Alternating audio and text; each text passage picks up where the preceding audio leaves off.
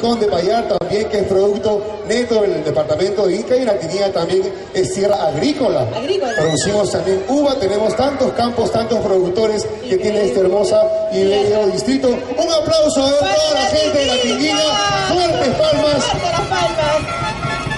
¿Qué tal representante de la Tinguilla donde tenemos esta noche, ah? De mi amigo Jerónimo. Oye, te cuento también, Deli, que la Quinguiña en los últimos 10 años en el Festival Internacional de la Vendimia de Ica siempre hemos obtenido segundos lugares, hemos quedado en el top de las cinco finalistas. Es una preparación que año a año eh, una organización que se encarga pues de preparar. Esta noche saldrá elegida una señorita, posteriormente se prepara para que la reina represente a nuestro distrito en el Festival Internacional de la Vendimia de Ica. Así es, es una gran misión, una gran labor, eh, gran trabajo que le espera a la, a la reina este año. Así que esperemos que, que, que vamos un poquito más adelante para que te vea el público. Ahora sí.